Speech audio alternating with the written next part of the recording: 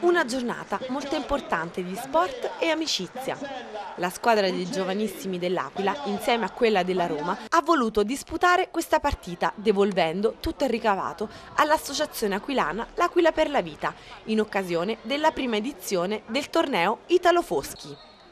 L'Aquila per la Vita, associazione ormai molto conosciuta in città, è sempre vicina ai malati oncologici e ha un'equipe ben organizzato e riesce a dare un grande supporto medico e psicologico a tutti i pazienti. Molte le attività di beneficenza che supportano l'Aquila per la Vita e il torneo Italo Foschi è stato proprio un esempio di questi.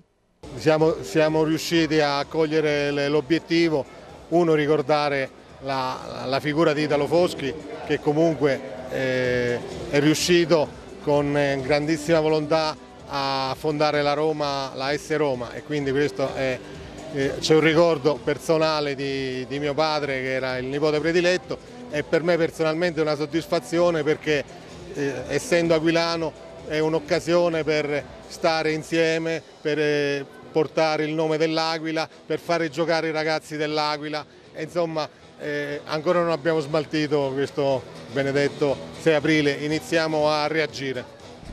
Il, presidente Zingarelli, Riccardo, siamo amici da una vita, eh, quando ci ha proposto di essere destinatari ovviamente siamo stati orgogliosi innanzitutto perché ci sentiamo, ci sentiamo eh, parte di una comunità di, di grande sensibilità. E il, la giornata di oggi lo dimostra in maniera compiuta e io simbolicamente voglio donare un pezzo di cuore dell'Aquila per la Vita al nostro presidente, eh, al mio amico Riccardo e al presidente del, del, Roma Club. Questa è la nostra mattonella. la facciamo aquilotto. vedere. Beh, grazie. Chiedo, no, normalmente...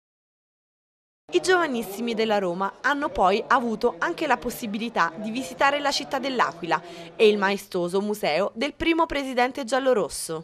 L'intenzione del Roma Club L'Aquila è di continuare nei prossimi anni questa importante manifestazione che ha visto la partecipazione di tantissimi appassionati di calcio. Il primo trofeo Italo Foschi doveva essere una giornata di festa, una giornata di sport, una giornata di giovani e ci è riuscito penso pienamente con eh, molto molto merito di, di chi ha voluto rispondere perché fra altre cose tutto l'incasso verrà devoluto in beneficenza all'Aquila per la vita.